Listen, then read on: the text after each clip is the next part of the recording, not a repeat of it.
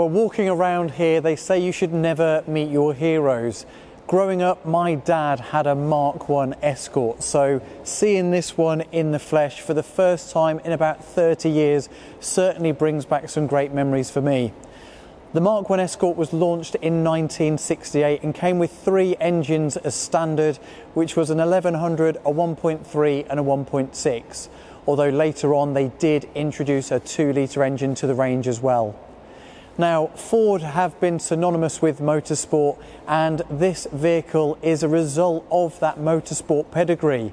So, launched to fit in between the Escort GT and the Twin Cam, and also in celebration of the Mexico Rally, this Escort Mark 1 Mexico was produced from 1970 to 1974.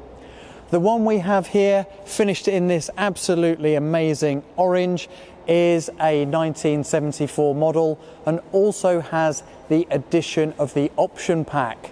The option pack bringing with it that walnut veneer on the dash, the clock and the Recaro seats to name just a few of those special details. So an absolute thrill for me to be here with this Mark 1 Escort.